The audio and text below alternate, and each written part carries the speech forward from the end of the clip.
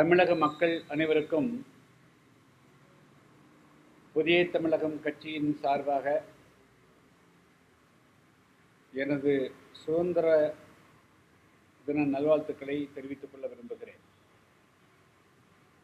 இந்திய நாடு ஏறக்குறைய ஆயிரம் ஆண்டுகளுக்கு மேலாக பல்வேறு அந்நிய ஆக்கிரமிப்புகளுக்கு ஆளாகி இறுதியாக இந்தியாவை ஆண்ட ஆங்கிலேயரிடமிருந்து விடுதலை பெற்று எழுபத்தி ஐந்து ஆண்டுகள் நிறைவேற்று எழுபத்தி ஆறாவது ஆண்டிலே அடியெடுத்து வைக்கிறோம் ஆங்கிலேயரிலிருந்து விடுதலை பெறுவதற்கு இந்திய மக்கள் செய்திருக்கக்கூடிய தியாகம் அளவிடற்கரியது. எண்ணற்றோர் தங்களுடைய உயிரை தியாகம் செய்திருக்கிறார்கள். ஆயிரக்கணக்கானோர் இந்திய தேசத்திலிருந்து நாடு கடத்தப்பட்டு அந்தமானில் உள்ள செல்லுவர் சிறையை கூட அடைக்கப்பட்டு தங்களுடைய வாழ்நாளெல்லாம்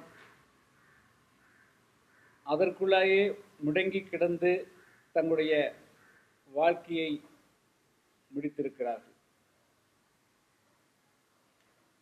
பலர் துப்பாக்கி சூடுகளுக்கும் குண்டாந்தடிகளுக்கும் ஆட்பட்டு பல அல்லல் பட்டிருக்கிறார்கள். எண்ணற்ற முன்னோடிகள் தலைவர்கள் ஐந்து வருடங்கள் பத்து வருடங்கள் என சிறைவாசம் பெற்றிருக்கிறார்கள்.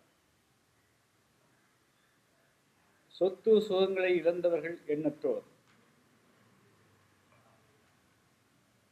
அவர்கள் அதாவது ஆங்கிலேயர்கள் இந்த மண்ணில் இருந்த பொழுது இந்தியாவிலிருந்து எடுத்து சென்ற இயற்கை வளங்கள்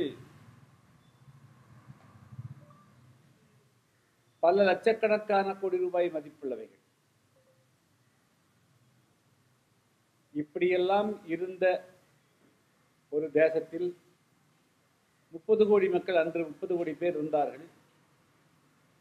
தங்களுக்கான வாழ்க்கையை தீர்மானித்துக் கொள்வதற்கு வாய்ப்பில்லாமல் அவர்களுக்கு அடிமைப்பட்டு கிடந்த சூழல் இருந்தது. அதிலிருந்து விடுதலை பெற்று இப்பொழுது நாமே நம்மை ஆண்டு கொண்டிருக்கிறோம். நமக்கான அரசியல் சாசனம் உருவாக்கப்பட்டிருக்கிறது. நாம் உண்மையான சுதந்திரத்தை அனுபவித்துக் கொண்டிருக்கிறோம். ஒரு காலத்தில் இந்தியாவை ஆசியாவினுடைய நோயாளி என்று அழைக்கப்படக்கூடிய அளவிற்கு கூட இந்தியாவில் வறுமையும் பிணியும் தலைநோக்கி கிடந்தது. இப்பொழுது கல்வியில் தொழிலில் வணிகத்தில் வாழ்க்கை தரத்தில் எவ்வளவோ மேம்பாடுகள் ஏற்பட்டிருக்கின்றன. இன்னும் நாம் பிற நாடுகளுக்கு சமமாக பல்வேறு துறைகளில் வளர வேண்டிய நிலையில் இருக்கிறோம். அது கல்வியாக இருந்தாலும் தொழிலாக இருந்தாலும் வேறு வாழ்க்கை தரத்திலும் ஐரோப்பா மற்றும் பிற மேலை நாடுகளை ஒப்பிடுகின்ற பொழுது நம்முடைய வாழ்க்கை தரம் இன்னும் பின்தங்கி இருக்கிறது. எனவே குறிப்பாக இன்றைய இளைஞர்கள் கல்லூரி மாணவர்கள் பள்ளி மாணவர்கள்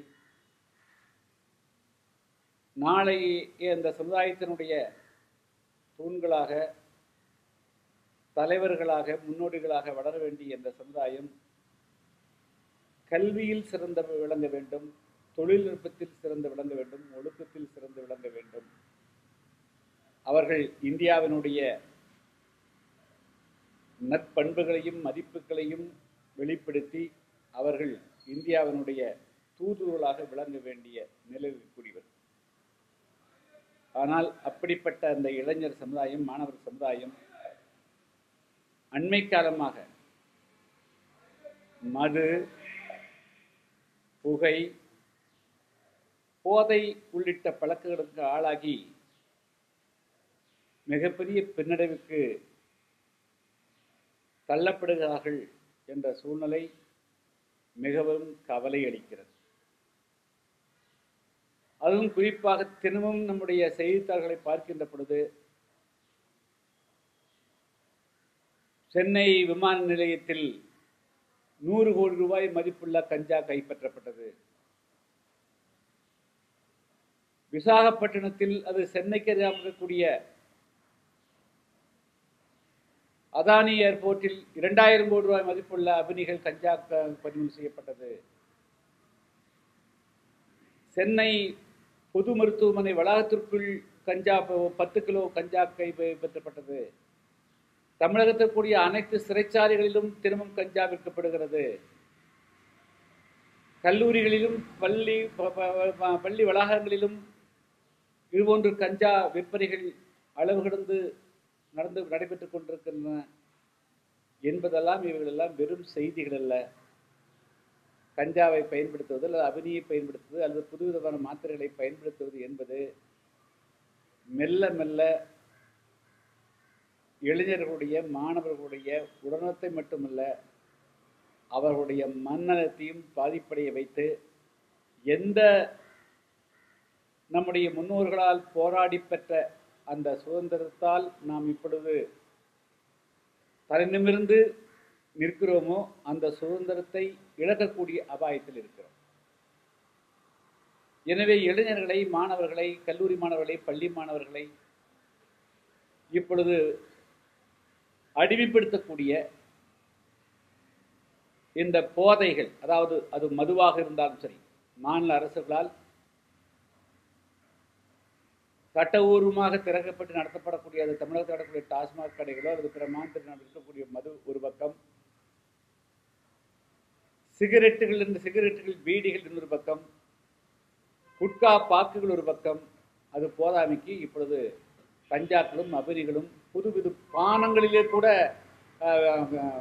போதரக்கூடிய அளவிற்கு பானங்கள் மாத்திரைகள் என்று பலவிதமான வழிகளிலே இப்பொழுது போதை வஸ்துக்கள் விற்கப்பட்டு வருகின்றன.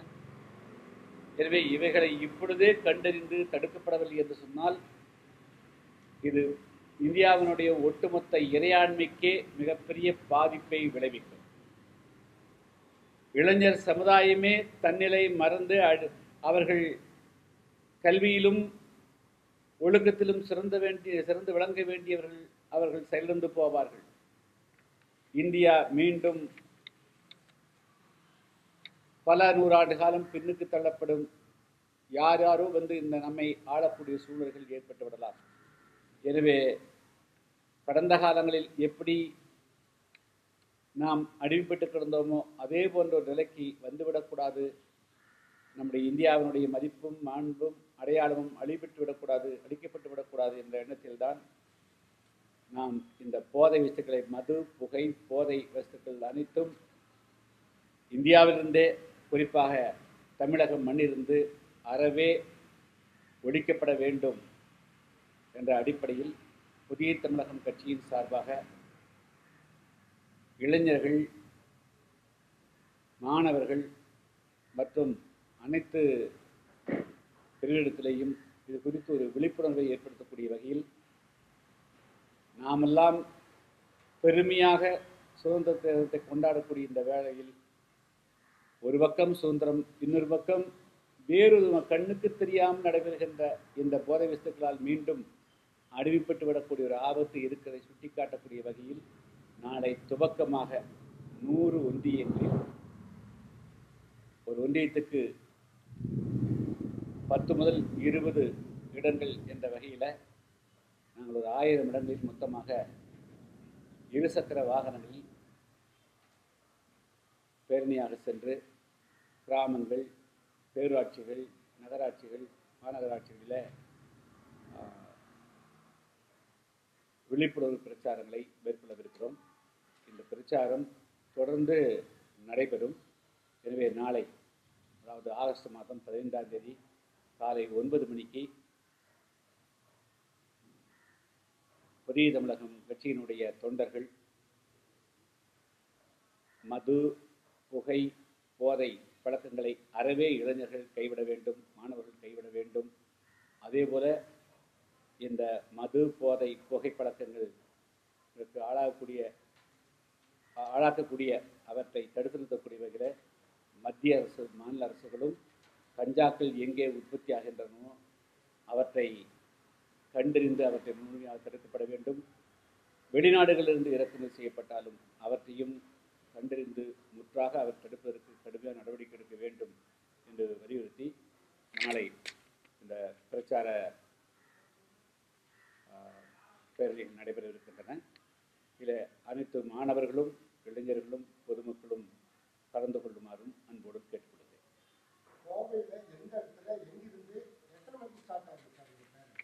இல்லை கோவில் கோவில் அது அதாவது வந்து ஒரு நான் ஐந்து இடத்துல முடிவு பண்ணிக்கிறாங்க.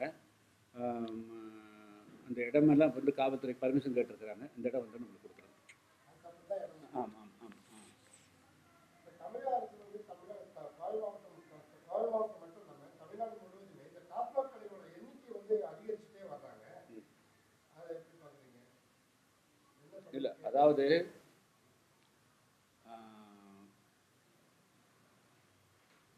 இதனுடைய ஆபத்தை அதாவது இளைஞர்கள் இந்த மது புகை போதைக்கு அடிமையாகின்ற ஆபத்தை மாநில அரசுகளும் உணர வேண்டும் மத்திய அரசுகளும் உணர வேண்டும். மாநில அரசை பொறுத்தவரை இவர்கள்தான் வந்து டாஸ்மாக் கடைகளை நடத்துகிறார்கள். எனவே அவர்கள் வந்து அதை முற்றாக ஒழிப்பதற்கு உண்டான நடவடிக்கை எடுக்க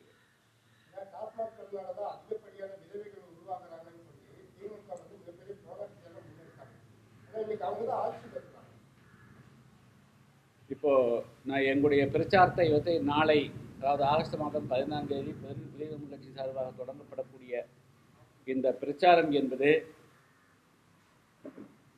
இரண்டாவது சுதந்திர போர் என்று கூட சொல்லலாம். எனவே நீங்கள் குறிப்பிட்டிருக்கக்கூடிய இந்த கருத்து நல்ல கருத்து. வாக்குறுதிகள் கொடுத்தால் மட்டும் போதாது. வெறும் எச்சரிக்கை செய்தால் போதாது. உண்மையாகவே இதயபூர்வமாகவே தமிழகத்தில் மதுவை முற்றாக ஒழிப்பதற்கு நடவடிக்கை எடுக்கணும்.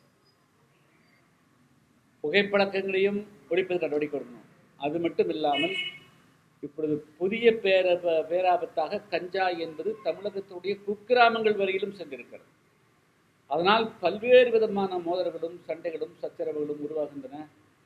எனவே இந்த கஞ்சா விற்பனை ஆபத்து அபினி விற்பத்தி ஆபத்து இவைகளெல்லாம் இப்பொழுதெல்லாம் வருவது பார்த்தால் ஆப்கானிஸ்தான் வந்து ஏற்கனவே ஆப்கானிஸ்தான் வந்து உலகத்திலேயே அதிகமான கஞ்சா உற்பத்திக்கு பெயர் பெற்ற அவங்க அவனி மற்றும் கஞ்சா உற்பத்திக்கு பெயர் பெற்ற நாடுகள். எனவே அங்கிருந்து இவைகளெல்லாம் இறக்குமதி செய்யப்படுகின்றனவோ என்ற ஒரு பெரிய சந்தேகம் கூட எழுகிறது.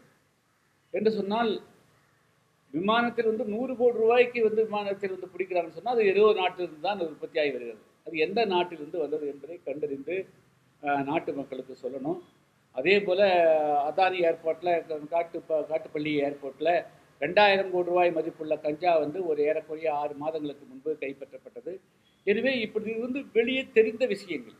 வெளியே தெரியாமல் கண்ணுக்கு தெரியாமல் இன்னைக்கு வந்து அங்கும் இங்கொன்று அங்கொன்று இல்லாமல் அனைத்து கிராமங்களிலும் நகரங்களிலும் மிக எளிதாக கொடு- கிடைக்கக்கூடிய ஒரே இதாக வந்து கஞ்சாவும் அபினியா இருக்குது. ஸோ அதனால் இந்த அரசு வந்து மாநில அரசு தன்னுடைய அனைத்து துறைகளையும் முடுக்கிவிட்டு செயலில் அந்த இந்த போதை வஸ்துக்களை தடுப்பதற்கு கூட நடவடிக்கை எடுக்கும் இல்லைன்னா கல்லூரி மாணவருடைய வாழ்க்கையே மிகப்பெரிய அளவுக்கு பாதிக்கப்பட்டுவிடும்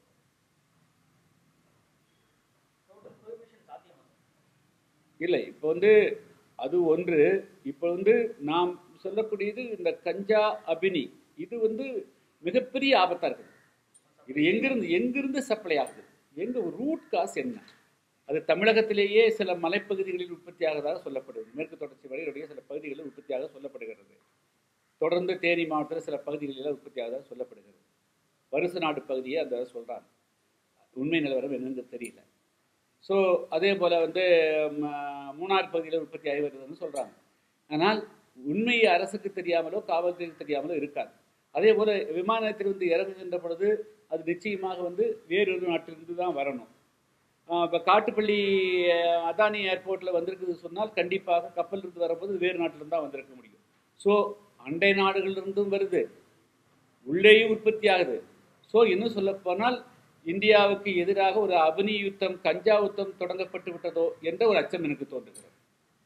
போதைப் அடுத்து ஆ, போதைப் பொருள் தடுப்பு வந்து தமிழகத்தில் செயல்படலை அப்படின்னு சொல்ல வரீங்களா அல்லது அவங்களுடைய சொந்த லாப நோக்குக்காக கண்டும் காணாமலும் இருக்கிறாங்கன்னு சொல்ல அதாவது இப்போ இப்போ நம்முடைய இந்த மீட்டிங்கின் நோக்கம் உங்களுக்கு உள்ளார்ந்த ஒரு விஷயம் புரியும்.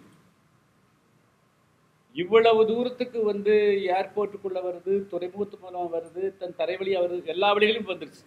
தரை மார்க்கமாக வருது கடல் மார்க்கமாக வருது ஆகாய மா- வருது. மூன்று மார்க்கமாகவும் வந்து வர்ற அளவுக்கு அப்படிங்கிற போது அப்போ எங்கேயோ ஒரு குறைபாடு இருக்குன்னு அர்த்தம். எங்கேயோ ஒரு லேக்கனாக இருக்குது அப்படின்னு தான் அர்த்தம். அதான் சொல்ல முடியும். ஸோ தமிழகம் இந்தியா வந்து ஒரு குறிவீச்சு தாக்கப்படக்கூடிய ஒரு சூழ்நிலை வந்துருச்சு. இது லேசாக விட்டால் இளைஞர்கள் மயதி மயங்கி விடுவாங்க. அப்புறம் நாளைக்கு வந்து இந்தியாவை பாதுகாப்பதற்கோ கட்டி காப்பதற்கோ யார் இளைஞர்கள் எல்லாம் போயிடுவாங்க. இந்தியாவை எளிதாக பிடிச்சி விடலாம்.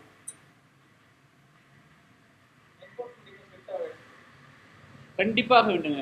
என்ஃபோர்ஸ்மெண்ட்டு முதல்ல வந்து இதனுடைய ஆரிஜின் தெரியாமல் எப்படிங்க இருக்கும்? ஒரு கப்பலில் வந்து எங்கே லோட் ஆச்சுன்னு எப்படி தெரியாமல் இருக்க முடியும்? எந்தெந்த பொருள் எங்கே லோட் ஆச்சுன்னு சொன்னால் அது கண்டுபிடிச்ச முடியும். விமான நிலையத்தில் எத்தனை செக்கப் பண்ணுறாங்க நீங்களும் நம்ம போகிறப்ப எத்தனை செக்கப் பண்ணுறாங்க அது எப்படி வந்து ம- நூறு கோடி ரூபா மதிப்புள்ள கஞ்சாவோ அபினியோ வந்து கொண்டு வந்திருக்க முடியும். டெஃபரெண்ட்டாக ஒரு சோர்ஸ் தான் இருக்க முடியும். வெறும் நூறு பயிர்கள் நூற்றி ஐம்பது பயிர்கள் மட்டும் வர வராங்க. ஸோ யார் வந்து லோட் பண்ணாங்க? எந்த சோர்ஸு எங்கிறது எளிதாக கண்டுபிடிச்சிக்க முடியும். ஏன் அதையெல்லாம் வந்து அரசு வெளியிடுதுன்னு தெரியல.